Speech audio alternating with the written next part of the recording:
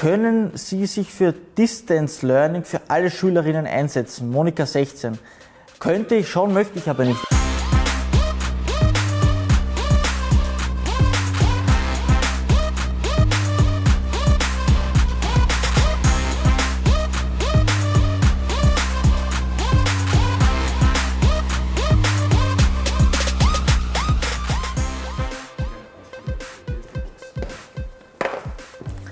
Dann legen wir mal los.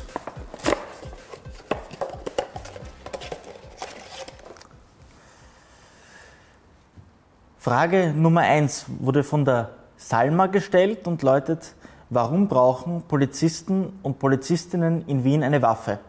Ist eine sehr äh, süße Frage. Warum brauchen Polizistinnen und Polizisten in Wien eine Waffe?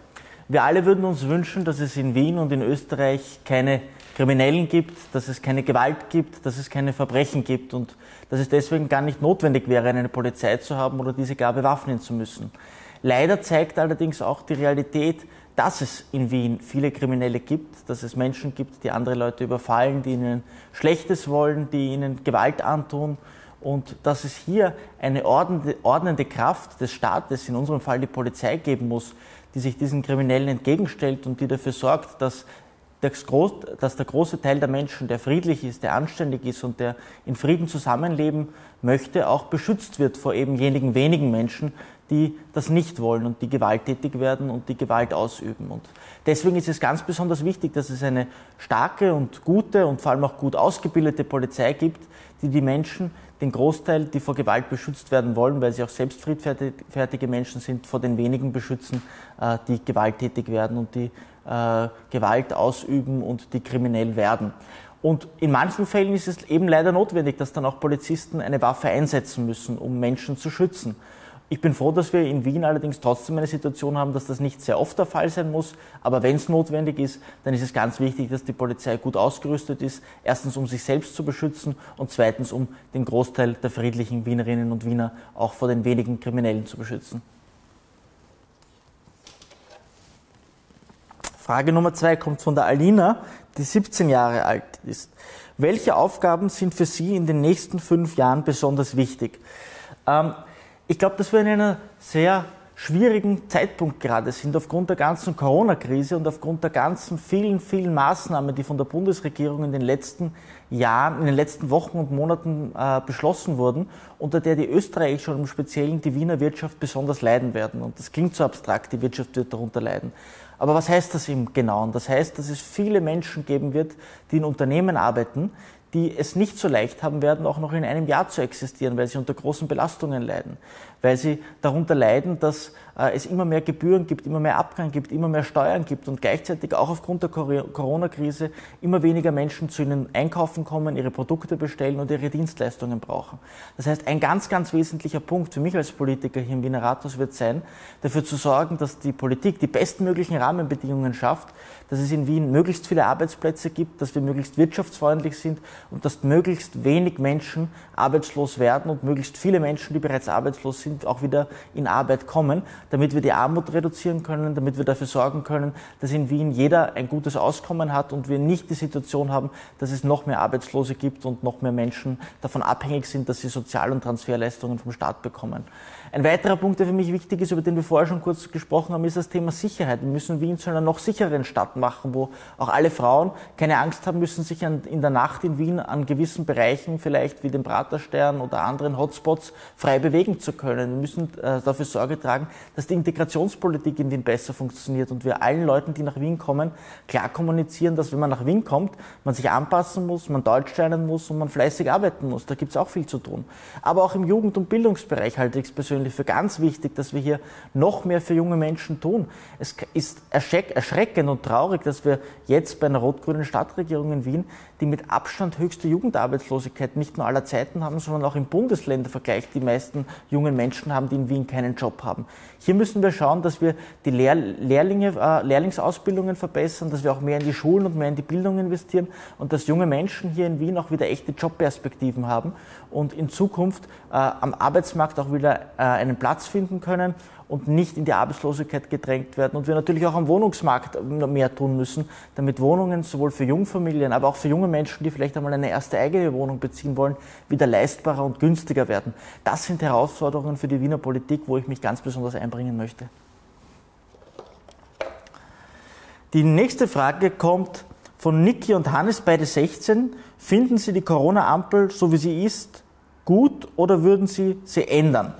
Äh, ich glaube, dass wir in dieser ganzen Corona-Krise im letzten halben Jahr ein großes Problem haben, und zwar, dass die Bundesregierung viel versprochen hat, viel angekündigt hat, aber wenig tatsächlich gehalten hat. Sie haben versprochen, dass sie viel helfen werden, dass sie genügend helfen werden, dass sie schnell helfen werden, und nichts davon ist eingetroffen. Und mittlerweile haben wir die Situation, dass wir in Wien eine Million und in Österreich eine Million Menschen haben, die entweder arbeitslos sind oder in Kurzarbeit sind. Und das ist eine katastrophale Statistik und das sind katastrophale Zahlen weil es zeigt, dass die falschen Maßnahmen gesetzt wurden. Und hier wäre mein Anspruch an die Bundesregierung, aber auch an die Wiener Stadtregierung, dass man endlich mehr Geld in die Hand nehmen müsste, dass man den Unternehmen direkt helfen müsste, damit die Menschen und die Angestellten nicht arbeitslos werden und dass natürlich hier eine andere Anreizpolitik gelebt werden müsste. Stichwort Corona-Ampel. Nein, die Corona-Ampel hat nichts Gutes gebracht. Sie hat für noch mehr Chaos gesorgt. Sie hat nicht nur keine gesetzliche Grundlage gehabt. Das heißt, sie ist eigentlich gar kein Gesetz, sie ist nicht bindend, sondern es hat sich auch niemand ausgekannt, weil man seitens der Bundesregierung, seitens des Herrn Kurz von der ÖVP und des Herrn Anschober von den Grünen und den Herrn Koglers nicht klar und nicht gut kommuniziert hat. Niemand weiß genau, was das bedeutet, wenn sie auf Orange schaltet, wenn sie auf Gelb schaltet. Es wird hin und her geschalten. Am Ende hat es jetzt auch noch eine zweite Ampel für die Schulen gegeben. Damit ist die Verwirrung komplett geworden worden, sondern wir bräuchten hier keine Ampeln, wo sich, irgendwie, wo sich niemand auskennt, sondern wir bräuchten eine klar funktionierende Kommunikation seitens der Bundesregierung und wir bräuchten eine Situation, in der keine Panik verbreitet wird, sondern wo von der Regierung Ruhe und Hilfe ausgestrahlt wird. Das wäre wichtig. Corona ist eine Krankheit, die für manche Menschen gefährlich und schlimm ist, keine Frage, aber wir brauchen keine Panikmache, wir müssen lernen, mit dem Virus zu leben und wir müssen wegkommen von einem strafenden Staat hin zu einem Staat, der die Wirtschaft wieder entfesselt und der den Menschen Perspektiven auch für eine Nach-Corona-Zeit aufzeigt. Nächste Frage. Können Sie sich dafür einsetzen, dass es mehr Sportgeräte in Wiener Parks gibt? Ibrahim 16. Ja, natürlich. Ich glaube, Parks in Wien sind ganz wichtig, sind ein wichtiger Grünraum und es ist wichtig, dass man die Parks auch besser ausstattet, dass man in Zukunft äh, noch mehr schaut, dass man dort Sportgeräte anschafft, dass man vielleicht auch Betreuungen noch besser sicherstellt und dass man hier finanzielle Ressourcen auch locker macht, um für Jugendliche, die ihre Freizeit in Wiener Parks verbringen und die dort äh, ihre Zeit verbringen wollen, äh, natürlich die bestmöglichen Voraussetzungen schafft. Auch hier wieder ein großes Thema, das Thema Sicherheit in Parks. Oftmals gibt es Beschwerden, dass es da Jugendbanden gibt und dass sich viele Kinder und Jugendliche deswegen in manche Parkanlagen nicht trauen und äh, dass es dort zu unangenehmen Situationen kommt. Das heißt, auch hier wieder Thema Sicherheit in Parkanlagen ganz wichtig, mehr Geld investieren in Parkanlagen ganz wichtig und dafür sorgen, äh, dass man dort als Kind und als Jugendlicher eine gute Zeit verbringen kann. Nächste Frage können Sie sich für Distance Learning für alle Schülerinnen einsetzen? Monika 16. Könnte ich schon, möchte ich aber nicht. Ich glaube, dass es ganz, ganz wichtig ist, dass Schülerinnen und Schüler, dass junge Menschen in der Schule aufeinandertreffen, dass man äh, einen geregelten, normalen Schulablauf hat, dass man auch das soziale Miteinander in der Schule lernt und nicht nur von zu Hause die Inhalte äh, oftmals gar nicht so gut mitbekommt, wie man sie tatsächlich in der Schule mitbekommen könnte. Distance Learning ist für mich für absolute Notsituationen, wo man sich nicht darauf einstellen konnte, wie beispielsweise Anfang des Jahres im März, äh, eine Ausweichmöglichkeit und eine, Ausweich und eine Ausweichnotfalloption. Die Praxis sollte es allerdings nicht sein. Die Praxis sollte sein, dass unsere Schulen ganz normal funktionieren, dass wir einen normalen geregelten Schulablauf haben, dass die Schülerinnen und Schüler in der Schule aufeinandertreffen, auch ein gemeinsames Sozialleben haben, Freundschaften, die sich in der Schule schließen, Freundschaften, in der Schule existieren, auch gepflegt werden können und wir nicht alle nur zu Hause den ganzen Tag vor unseren Computern sitzen und dort die Freizeit verbringen, äh, dann auch noch lernen und den Schulunterricht dort durchführen, sondern ich glaube, es braucht modernere Schulen, ja, es braucht besser ausgestattete Schulen, ja, aber es braucht auch dazu einen ganz normalen Regelschulbetrieb, von dem ja auch sehr viele Eltern abhängig sind, die nicht ihre Kinder den ganzen Tag beaufsichtigen können zu Hause. Frage Nummer 11. Was tun Sie, damit die Außenbezirke besser ans Zentrum angeboten werden? Von der Viktoria 18, Caroline 16 und Lena 16. Wichtiges Thema öffentlicher Verkehr. Ich würde es für ganz, ganz wichtig halten, dass wir den öffentlichen Verkehr noch weiter ausbauen. Es gibt im innerstädtischen Bereich viele Angebote, aber im außerstädtischen Bereich und in den Randbezirken viel zu wenig. Und da hat die rot-grüne Stadtregierung viel angekündigt, aber leider zu wenig gehalten in den letzten Jahren. Wir haben zum Beispiel einen FPÖ-Bezirksvorsteher im 11. Bezirk, den Pauli Stadler, der hat sich ganz massiv dafür eingesetzt, dass die U3 weiter ausgebaut wird, dass sie bis nach Schwächert geführt wird und dass wir so auch den Verkehr in Wien entlasten können und Menschen besser die U-Bahn nutzen können. Ich würde es für wichtig halten, dass man auch im Norden von Wien und äh, im Transdanubien die Bezirke 21 und 22 stärker den Verkehr ausbaut und den öffentlichen Verkehr ausbaut und miteinander vernetzt und auch in die Stadt hinein vernetzt.